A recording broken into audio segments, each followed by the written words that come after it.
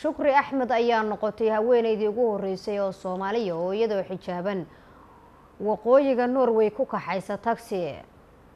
Shukri ayaa ku soo biirtay shaqada kaxaynta taxiga iyadoo hadda la shaqeysa shirkadda tin taxi oo ka mid ah shirkadaha tagaasida ee ku yaalla magaalada tamose ee waqooyiga norway.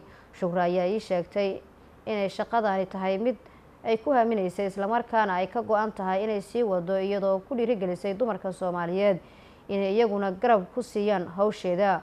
Oo ay ku dhiiradaan inay ku soo biiraan shirkadaha wadista tagaasida taasi oo ay ku kalsoon tahay in dumar badan ay ka qeyb qaadan karaan. Waxayna ragga ay qabtaan iyadoo dhowraya dhaqanka iyo diinta suuban